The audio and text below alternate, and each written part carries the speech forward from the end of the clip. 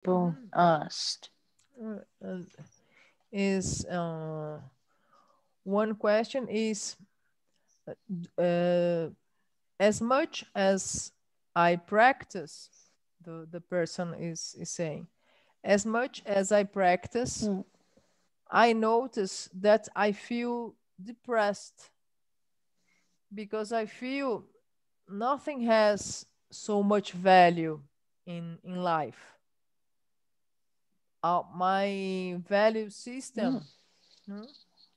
not, uh, I, I see with more clarity that to dedicate my life for these simple things in in my daily life it doesn't have sense and uh, mm-hmm.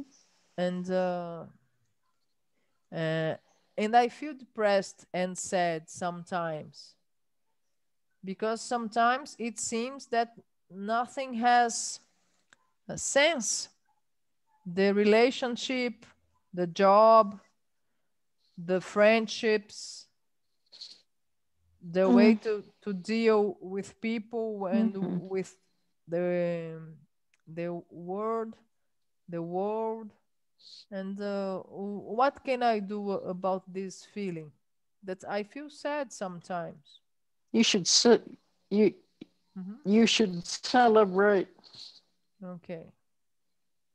Mm-hmm. Celebrate this feeling that you're actually waking up mm-hmm. to the truth. It's a mm-hmm. great celebration. Finally, you're seeing the truth. You have put value on all these things. You have created all these appearances the way that you see them now. And they are totally illusory. There is not one element of truth that you are attached to. So now, if you are seeing for the first time, you're seeing that all these things have no value. All the things that you've invested all your life in, you're finally waking up and you should have a big party mm. and say, Thank you. Wow. Finally, I'm seeing the truth. Finally. And then you devote the rest of your life, even if it is one minute or five minutes or one week, you devote it to what is of value. And that is really understanding the teachings in the most profound way, because that will help you transcend both life and death. And that is the only thing that can help you. Nothing else. Doesn't matter what money, what position you have in society, how good you look, how many boyfriends. It's just useless. So we need to wake up to the truth. So, depressed, you can ask yourself, what is depressed? What is depressed? If it is the I, you have to find it. If you say, I am depressed, where is this I that is depressed? Which part of the body is this I? And if you can't find it in the body, then you have to find it in all the elements of your psychology. Otherwise, it's a joke, isn't it? Depressed. What is depressed? Where is the depression? Investigate, find out. Don't just leave it as depression. That doesn't help you. You have to investigate more.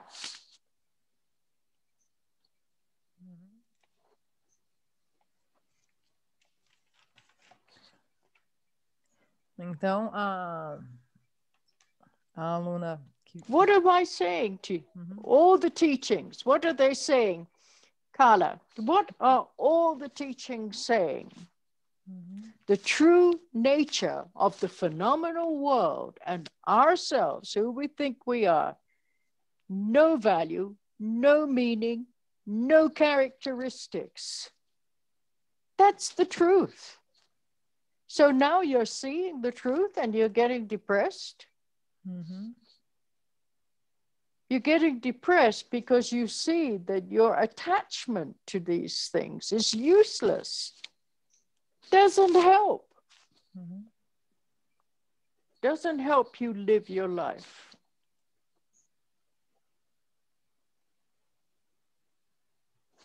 Mm-hmm. Okay, Ghana. Okay.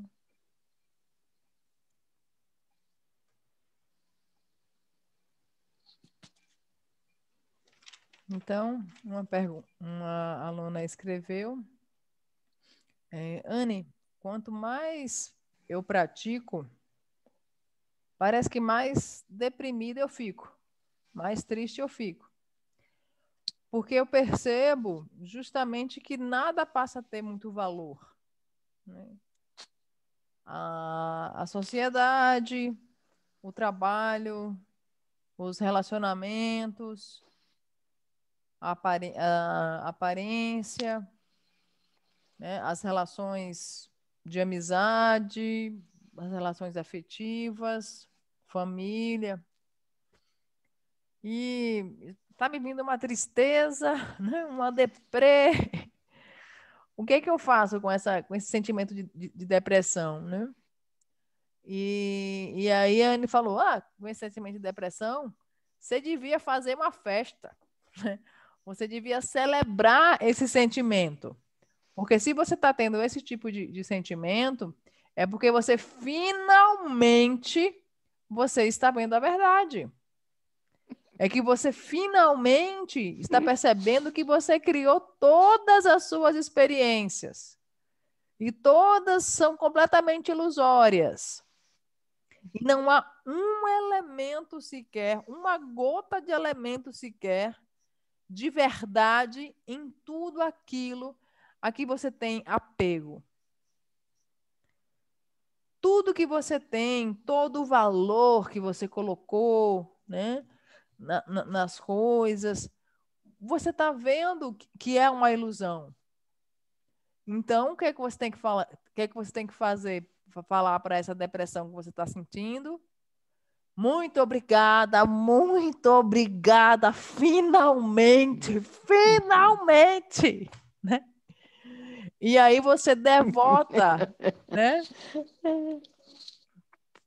Para cada é, é, segundo que você vai ter da, da, da, sua vida, né? Que seja um segundo, seja o resto da sua vida, seja cinco minutos, o que você tiver, você devota a isso para o que realmente tem valor. E é quando você tem esse sentimento, essa, essa depressão, essa tristeza de que o mundo à sua volta é essa grande ilusão, é isso que é o começo do entendimento do ensinamento mais profundo. E é isso que vai poder te ajudar na vida.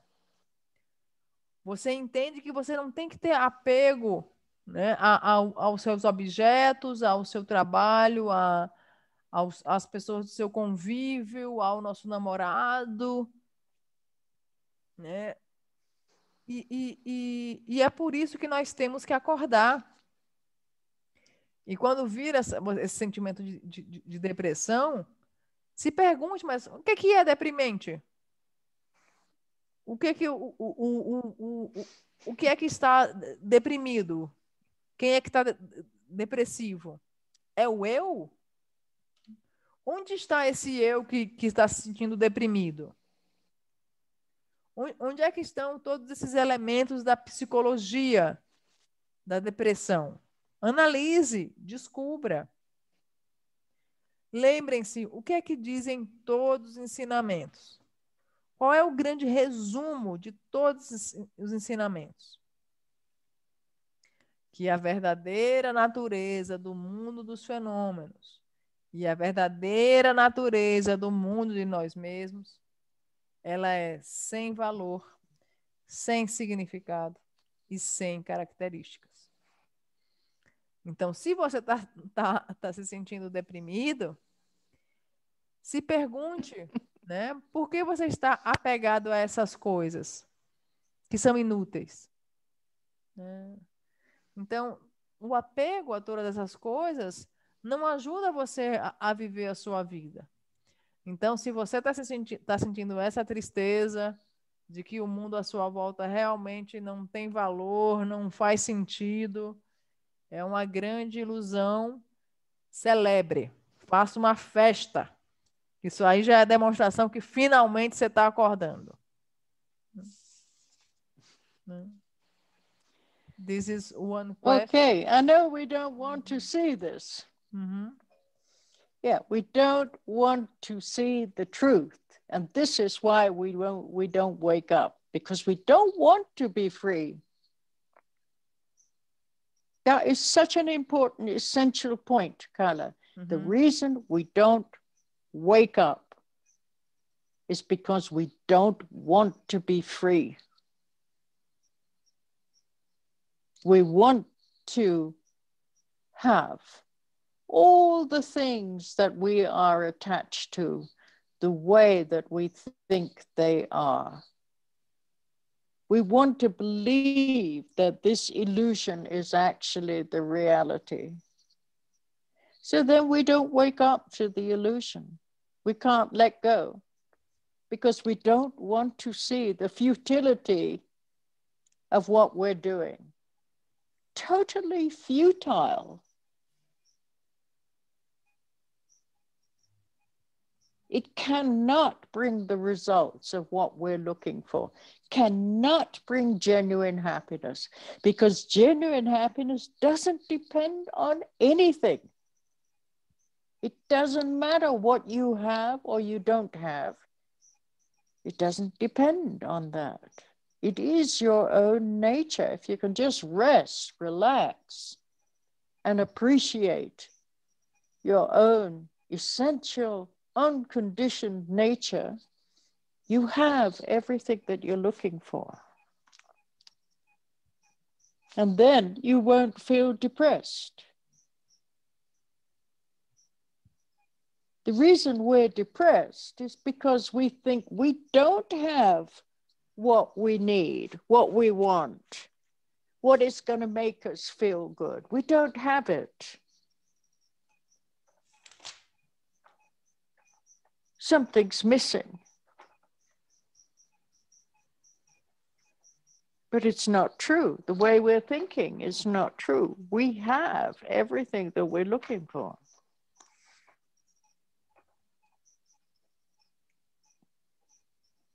We just don't know how to connect with it. Why? Because we have been conditioned to believe we don't have what we're looking for.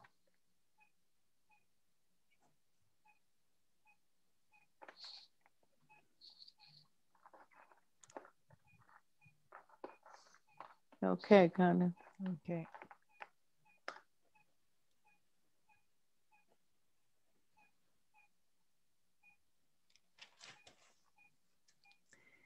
Eu sei que não queremos ver a verdade. E essa é a razão porque nós não queremos despertar. Não queremos despertar a nossa consciência, não queremos acordar. É porque nós não queremos ser livres. Como nós não queremos ser livres, nós não queremos acordar. Nós queremos ter tudo do jeito que a gente quer que as coisas sejam. Nós queremos acreditar que essa ilusão é a realidade. Nós não queremos ver a futilidade do que estamos fazendo. Nós não queremos ver a futilidade do que nós estamos nos dedicando na nossa vida. Não queremos ver a futilidade do que estamos fazendo e entender que essa futilidade do que estamos fazendo não pode trazer como resultado a felicidade genuína. Não importa o que quer que façamos, não trará a felicidade genuína, porque é uma ilusão. E se você praticar e apreciar a sua verdadeira natureza não condicionada, você verá que você já tem tudo o que você procura. A razão de você se sentir é, deprimida é o sentimento de que está faltando algo, de que algo não está certo. E esse modo de pensar de que algo está faltando, ele não está correto. Nós temos o que nós buscamos, nós já temos o que nós, nós buscamos. Nós só não sabemos como, como nos conectar com, com a nossa verdadeira natureza. Nós não, nós não estamos conectados com a nossa verdadeira natureza, porque nós fomos, acredit, fomos treinados a acreditar fomos condicionados a acreditar que nós não temos o que buscamos, que sempre falta algo e nós temos que buscar mais, buscar mais, buscar mais. That's it, Annie. What was the second question? The second question is Was that it? The two questions, mm -hmm. or mm-hmm. was there another question? Yes. It it's about uh, how can parents can uh, deal with children in the using of of technology and the addiction in computer ipads social media mm. How can a, a parent mm. can control the children yeah. or give some guidance a segunda pergunta it's é... a big Okay. Mm-hmm. Okay. It's a big problem. Mm-hmm. It's a it's a big problem today. And the problem is that the parents don't give time for the children. They don't spend time. They want the children to be distracted by some kind of computer technology, iPad, cell phone, so that they don't have to deal and work with the children and take them out and play with the children and take them on nature walks. You know, if the children were inspired by what the parents' activity might be, you know, long nature walks, walking around where there's no energy, no cell phones, no computers, so that they could begin to appreciate the environment that we all have and that they don't need to have this kind of stimulus. But the problem is all the kids have a cell phone or an iPad or something. And so they don't want to be left out. They don't want to be seen as something different, something inferior. But the main problem is the parents don't want to spend time with the kids. If you send your child to a Rudolf Steiner school, for example, an alternative form of education, then the child is given many different ways to be creative. There is no formal education until the age of seven, six or seven years old. So they are encouraged to play until they are seven years old. Because through playing, they learn to be creative. So they are given conditions to tell stories, to have theater, to paint, all different ways to be creative. And then naturally, by the time they are seven, they have clear interests in their life, what they would like to do, how they would like to express themselves. I know a number of my students have been through this form of education, and they are beautiful human beings. So it's up to the parents. If the parents uh, spend all day on the computer and have no time for the kids, what example is that for the children? But if the, the parents go out, go for long walks, go on camping trips, do all kinds of physical activities with the children so that the children really enjoy simple things without computers, without cell phones, then they can begin to see the beauty in what they're doing. But we as adults are not good examples for children. We tell them what to do, but we don't do it ourselves. And that's a big problem.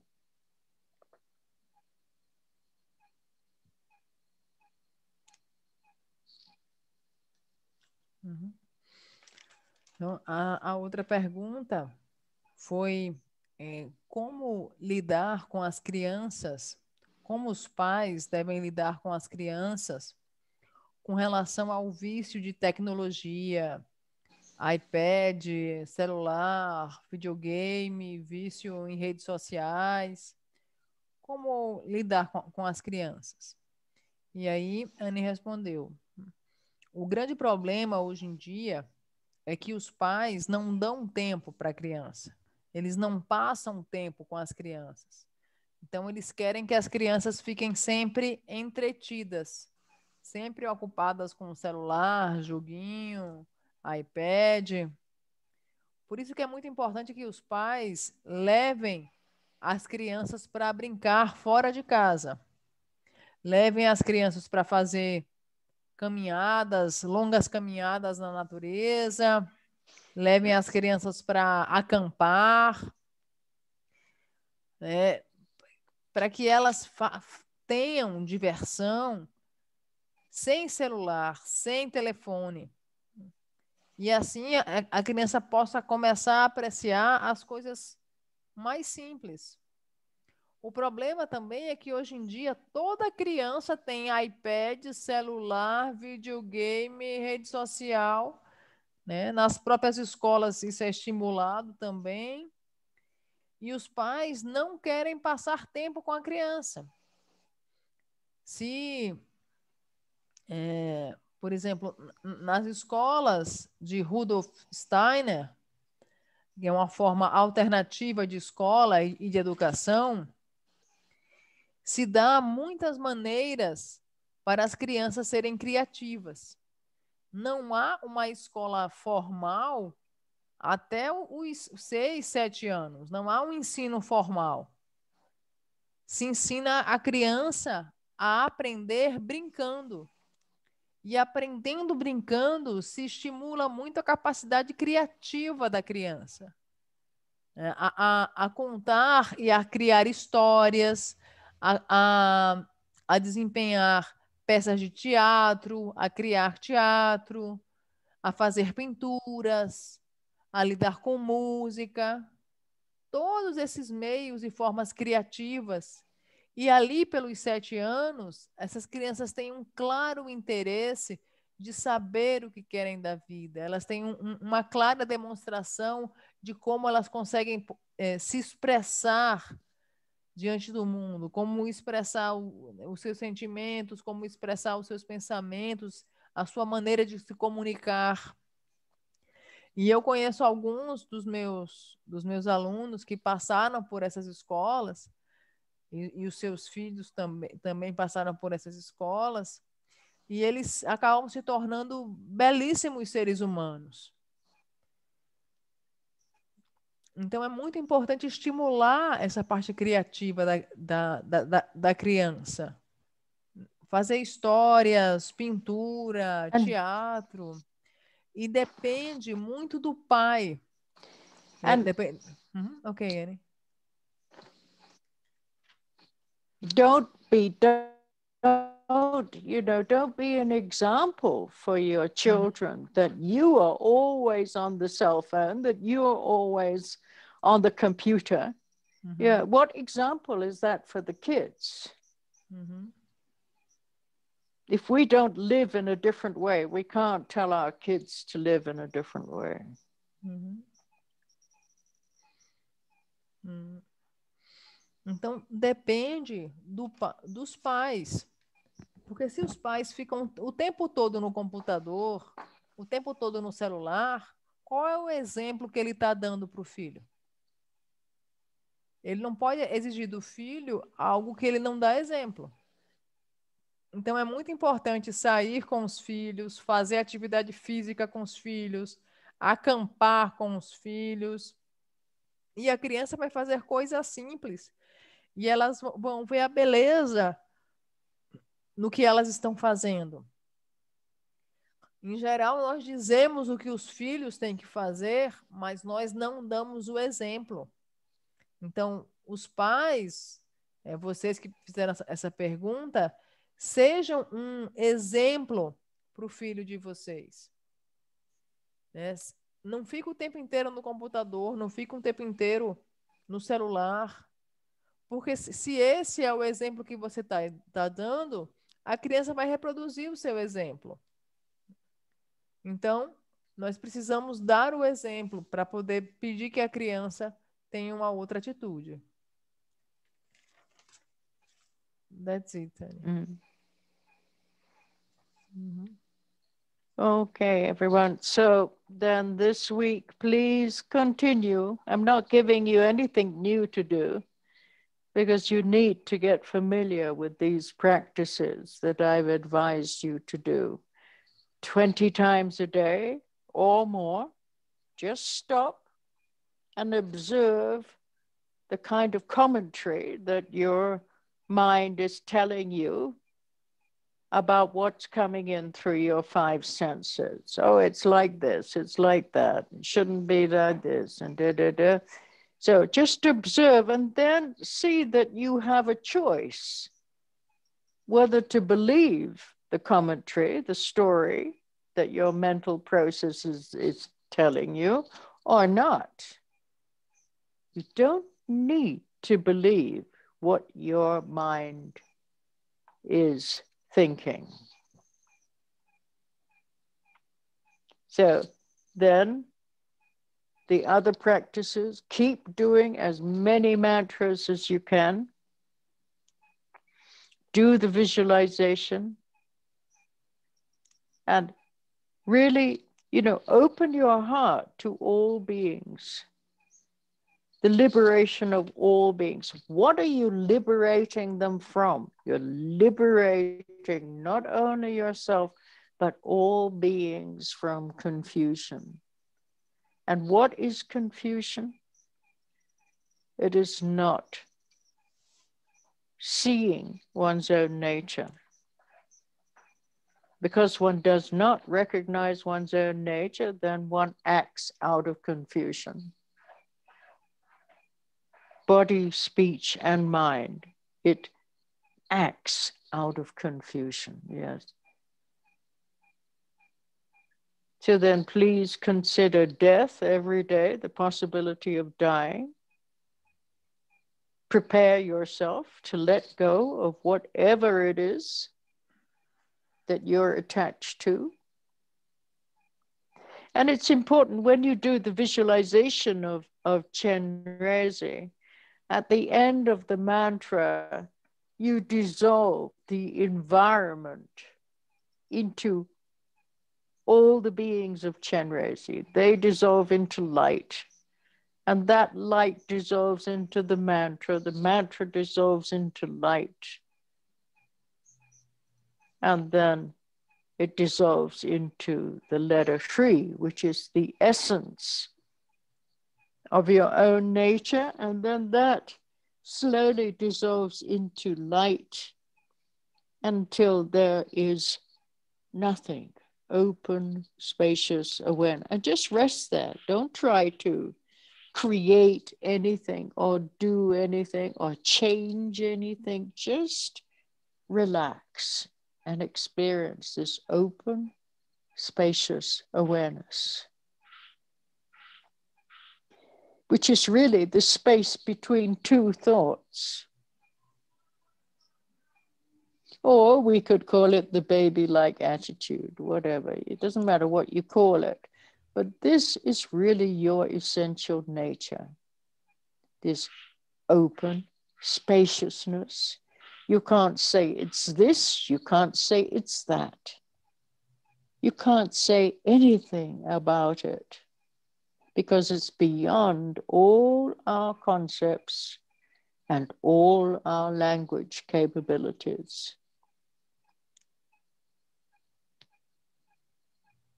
And that is why, you know, His Holiness Dilgo always used to say, when people used to ask him, Oh, Rinpoche, can you tell us about our nature?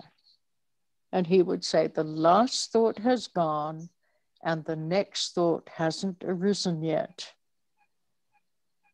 Just rest there. That's all.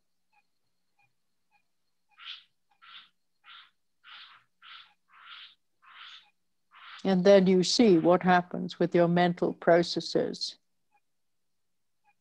In the beginning, it's almost impossible to rest there because we're so familiar with identifying with our thoughts. We only see thoughts, we don't see the space between thoughts. So now we need more space our focus needs to be a little different. Don't focus on the thoughts, focus on the space between thoughts. The last thought has gone and the next thought hasn't arisen yet. And just rest there. So let's look at these practices again. 20 to 30 times, just pause during the day. Any time at all, just pause and look at the commentary that your mind is telling you, the story. The mantra and the visualization, which will help you to have more equal vision, open your heart chakra to the compassion within your own heart and within the heart of all beings. We're trying to tune in to this unconditioned activity of our own wisdom.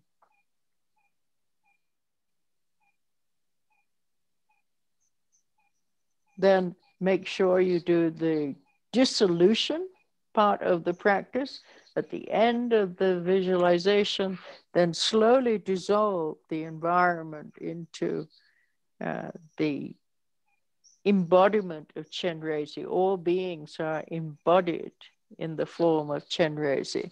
Then that dissolves into light. That dissolves into your your own being, your own body as Chenrezi. Then that dissolves into light. That dissolves into the mantra. Then the mantra dissolves into light. That dissolves into the letter Hri. So we're coming inward slowly from the environment, slowly coming inwards, coming inwards. And then finally, we come to the seed syllable in the center of our heart chakra, in the center of the central energy channel in our body.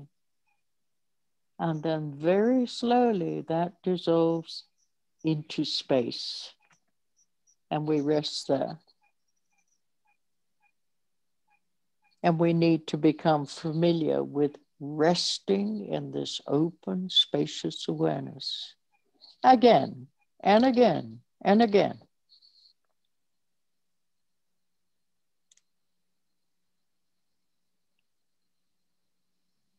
Okay.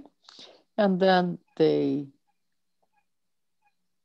contemplation on death and dying every evening before you sleep. And maybe you can introduce the aspiration that when you, if you wake up in the morning, you will be able to see clearly without any distortion or any confusion. That aspiration to be able to see clearly. How wonderful.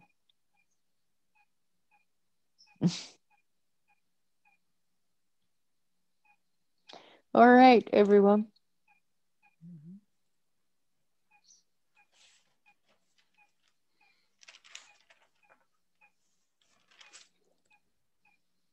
Okay, on a practical level, um, the new construction that I have been trying to finish now, the Mestre de Obra, the man in charge, has not showed up to complete the work. And the estimate that I have to complete the windows and the doors, just the windows and the doors. We have the roof, we have the walls, we don't have the floor. No. Thank you, Carla. Thank, Thank you. you. Thank Bye. You. eu, eu oh, Carla, traduzir a parte. Yeah. Carla, if you can con Yeah, if you can Então, vou traduzir o que ela falou, tá? Então, é, continuem a prática de pausar de 20 a 30 vezes por dia. Observe o tipo de comentário que surge né, pelos seus cinco sentidos.